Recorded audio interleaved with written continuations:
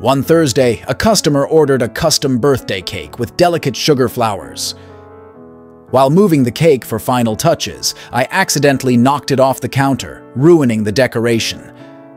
With only a few hours left, I quickly baked a new cake and redecorated it, even adding extra sugar flowers for a more elaborate design.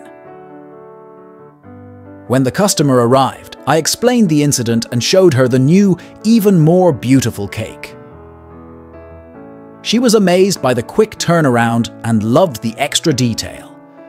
The birthday celebration was a success, and the cake turned out to be a stunning centerpiece. It was a stressful moment turned into a triumph of quick thinking and baking skills.